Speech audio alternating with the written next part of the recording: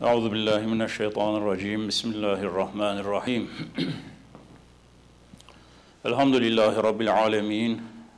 Ve salatu ve selamu ala rasulina Muhammedin ve ala alihi ve sahbihi ecmaîn. Sallu ala rasulina Muhammed. Sallu ala tabibi kulubina Muhammed. Sallu ala şefii zunubina Muhammed. Allahümme salli ala seyyidina ve nebiyyina ve rasulina Muhammed. Ama ba'd.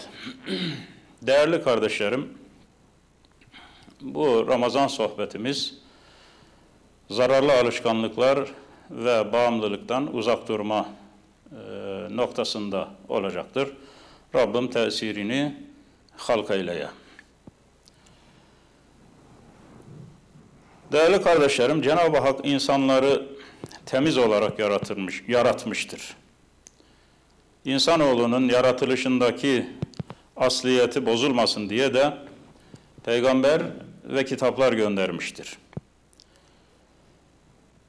İlk peygamber Hazreti Adem'den son peygamber Hazreti Muhammed Mustafa sallallahu aleyhi ve sellem Efendimiz'e gelinceye dek bütün peygamberler insanın asliyetinin bozulmamasına yönelik beş asli esası gaye edinmişlerdir. Yeryüzü halifesi olarak gönderilen her insan aklı ve iradesiyle elbette yaratıcıyı bulabilir. Yaratıcının varlığına inanabilir. Ancak yüce yaratıcının kendisinin için yarattığını, bunun hikmetini ve kendisinden neler istediğini ancak gönderilen kitaplar ve peygamberler vasıtasıyla anlayabilir. Zariyat suresinin 56. ayeti kerimesinde yüce yaratıcımız Estağfirullah ve ma halaktul cinne vel insa illa liya'budun ifadesiyle kendisini bizi Rab olarak tanımak ve kulluk vazifelerimizi ona yönetmek üzere yarattığımızı bildiriyor. Bu şuur ve bu bilince ulaşabilmek için hemen aklımıza kainatın efendisinin şu hadis-i şerifi gelmekte. Küllü yuledu ala fıtratil İslam feebevahu ev yuhevvidanihi ev yunassiranihi ev yumeccisanihi her doğan e, insan, can, İslam fıtratı üzere doğar. Ebeveyni vasıtasıyla ya Hristiyanlaştırılır, ya Yahudileştirilir, ya da Mecusileştirilir buyuruyor Cenab-ı Peygamber aleyhissalatu vesselam Efendimiz. Bu hadis-i şeriften şunu anlıyoruz ki, e, Müslüman anne ve babalar, diğer din mensupları gibi çocuklarını, evlatlarını İslami terbiye ile yetiştirmek, zararlı alışkanlıklardan ve bağımlılıktan uzak tutmak, Rablarına karşı kulluk vazifelerini ifa etme noktasında yetiştirmekle mükelleftirler. Değerli kardeşlerim, bugün eğer toplumda zararlı alışkanlıklar var ve bir kısım insanımız e, bağımlılık müptelası iseler, ve her gün bu insanlarımız arasında yayılıyorsa e, bunun sebebi anne ve babalar olarak ya da millet olarak çocuklarımızı gerektiği gibi İslami terbiye ile terbiye etme noktasında yeterince başarılı olamadığımız demektir. Çocuklarımızın dünya ve dünyalıkları noktasında elimizden gelen bütün gayreti gösteriyoruz. Çocuklarımızı hatta yarıştırıyoruz. Dünyevi noktada hiçbir şeylerini eksik etmemenin gayreti ve çabası içerisinde oluyoruz. Ancak manevi yönden çocuklarımızı gerektiği gibi yetiştiremiyoruz. Bu sebeple e, ruhu tatmin olmayan çocuklarımız, gençlerimiz bunalımlara düşerek değişik arayışların içerisine giriyorlar ve bunun neticesinde e, birçoğu zararlı alışkanlıklara hatta bağımlılık noktasına varacak şekilde e, yakalanmak durumuyla karşı karşıya kalıyorlar. Yapılan incelemeler ve araştırmalarda insanların zararlı alışkanlıklara, e, bağımlılık noktasına gelmesine sebep olan 5-6 husus, önemli husus tespit edilmiştir. Bunlardan ilki bilgisizliktir. Konuyu hafife alan, konu hakkında e, yeterli bilgisi olmayan, zararlı alışkanlıkların, bağımlılığın tehlikesinden habersiz olan gençlerimiz maalesef e, zararlı alışkanlıklara yakalanma, bağımlı olma noktasında aday insanlarımızdır. İkinci olarak özenti. Günümüzde medya, reklam bu konuda çok önemli. Bir de örnek şahsiyetler ülke düzeyinde e, ün yapmış insanların e, benzeri olabilme özentisi ve bu özentiye kapılmış olan arkadaşlar zararlı alışkanlıklara ve uyuşturucuya giden yolda gençlerimiz açısından büyük tehlike arz etmektedir. Birahane, barhane ve benzeri eğlence yerleri de zararlı alışkanlıklara yönelme noktasında e, bir başka maddedir. Moda bir başka madde, çevreye uyma, mahalle baskısı gibi hususlar da zararlı alışkanlıklara gençlerimizi götüren sebeplerdendir. Bir başka önemli sebep arkadaş çevresidir. Ee, arkadaşını söyle, sana kim olduğunu söyleyeyim e, demiştir atalarımız. Ee, iyi yetişmiş, e, İslami terbiye ile terbiye edilmemiş, e, iyi yetişmiş, İslami terbiyesini almış gençlerle arkadaşlık kuranlar açısından zararlı alışkanlık tehlikesi söz konusu olmamakta ancak iyi yetiştirilmeyen manevi alanda e, henüz e, ne yapacağını bilmeyen, huzuru bulamayan gençlerimiz e, kötü arkadaşlar sayesinde zararlı alışkanlıkların müptelası olabilmektedirler. zararlı alışkanlıklar dediğimiz zaman e, Maide suresinin 90. ayeti kerimesi aklımıza gelir. Uyuşturucu ve bağımlılık konusu da bu kapsamdadır. Cenab-ı Hak Estağfirullah Ya eyyühellezine amenu innemel hamru vel meysuru vel ensabu vel ezlamu ritsu min ameli şeytan fectenibuhu leallekum tuflihun buyuruyor bu ayeti kerimede.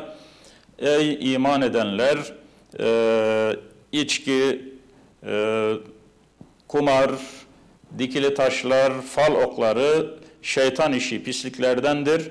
Bunlardan uzak durunuz ki felaha erenlerden olasınız diye buyurulmuştur.